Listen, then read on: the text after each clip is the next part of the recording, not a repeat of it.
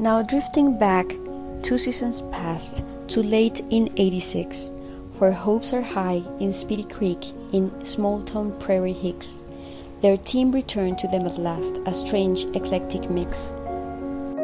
A driven man with guts and sight ignored the public polls to bring the team to his hometown, a windy city stole. The run of history, big and small, is rarely bound by rule. They've gathered guys from many leagues, from western farms and towns, to share a room and miles of road with mates just lately found, in big sky land whose light reveals horizons with no bounds. This town that bathed them, call it home, out on the sunburned plain, the hat, the jaw, and pile of bones, right flank on either twain, oasis in the empty hills, in land near parched of rain where men of soil still plough the ground to plant their shafts of gold, and red faced live their rugged lives in ranges hot and cold, and work to live the same again for sons when they grow old. But summers, with their searing heat and moisture leaking wind, are weak compared to winter freeze that forces men within, and hardy folk don't venture out with lowly odds to win. Man will have his victory time, say water holding dikes, or blow a mountain here and there to gird the earth in spikes. But this turf lies in nature's state, she marches here with pikes. She slashes at the swaying crop with early clean frost, or swoops up in her swirling rage, rich soil blown free and lost. Her tenant farmers must each year weigh gain against the cost. And out here Noct stands in the way that man might know his God, where night drives past the city glow, still light away on flood, where thoughts of never ending life seem slightly less a fraud. And safe where music rocks the room as players prep to play, some guys unknown but weeks before share toil and strain each day, and long the bonds and team they form will last until mid May. This is a place for hope to spring for each man and for all, where quest for greatness and for fame peers out from every stall, and none of them knows which of them will rise and which will fall. On fire now, one red of hair, a scorer's touch and true, an athlete skilled in many sports, whose gifts are for the few, while waiting home his almost bride has wedding plans to do. His friend through all is next to him, exception to the rule. That size is all that counts in sport. He takes big men to school. A hometown son of German stock, no battle shakes his cool. And never far, a sheepish guy to watch out for the lambs. He'd made the squad with guts and fists and saving skill from jams, and wary is the league of him of thundering his hands. The future star from Hockey's clan, heir worthy to the throne, his easy wit and friendly smile have made his essence known. With all the extra practice time, he's come into his own.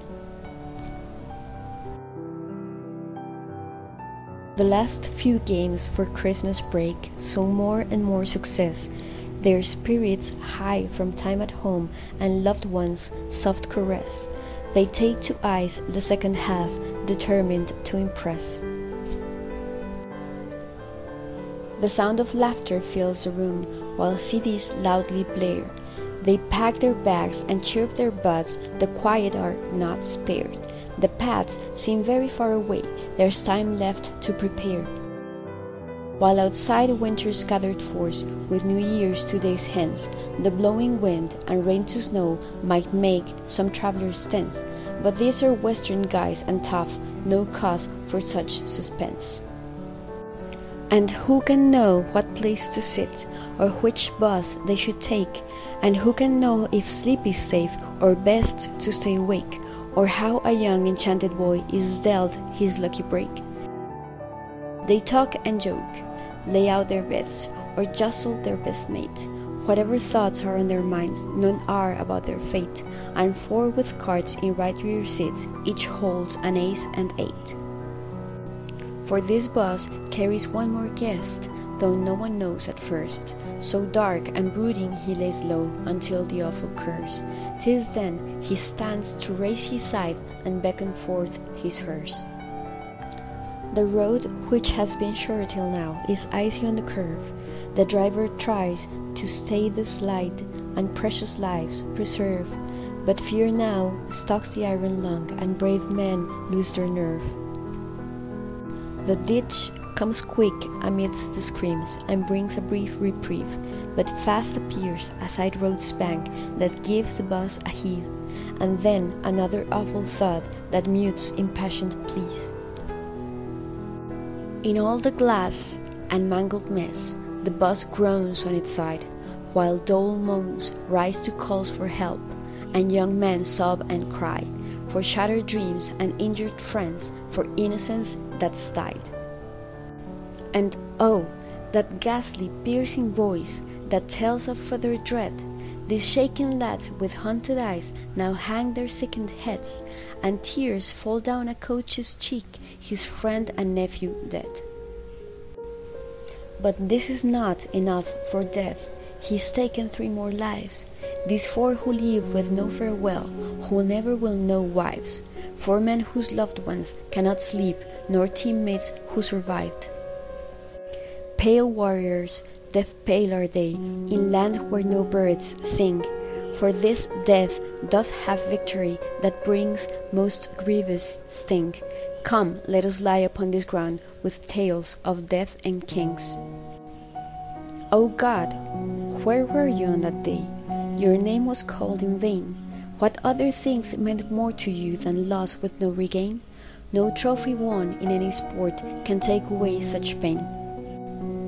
Where brooks and broncos brush against and run the open plain, where the Cree à la Vérendrye preceded John A.'s train, the wind erases marker stakes and life's so shallow claim.